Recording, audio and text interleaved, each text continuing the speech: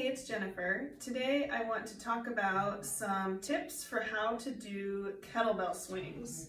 So it's something I see a lot of people doing almost right, but not quite right. Um, so I just wanted to put a little PSA out there for everyone who's doing kettlebell swings.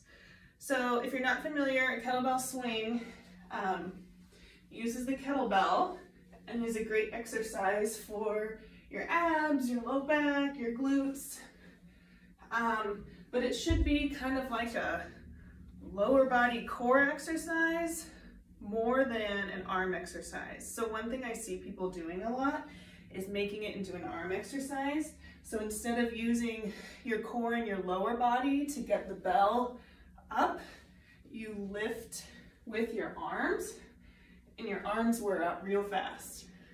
So if you're able to like really go slow, and you're controlling the weight up and down, that's a sign that you're using your arms to lift it up and put it back down. Also, if your arms are just exhausted, that's also a good sign that you're using your arms.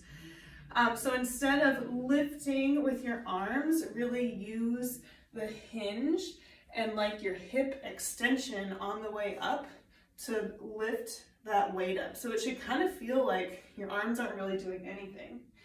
Um, the other thing that I see a lot is a kettlebell swing that is more of a squat and a lift rather than a hinge and a lift. So that looks like this, which is a little bit better than lifting with just the arms, but again, you're kind of missing out on this great hip hinging power that you can generate to get the bell swinging up. So if you feel like you're doing more of a squat and your shoulders aren't dropping forward as you swing the bell, that's um, something to try is really dropping your shoulders over your toes. And then again, that hip extension is what swings the bell up. So give it a try at home. Let us know what you think and good luck. See you next time.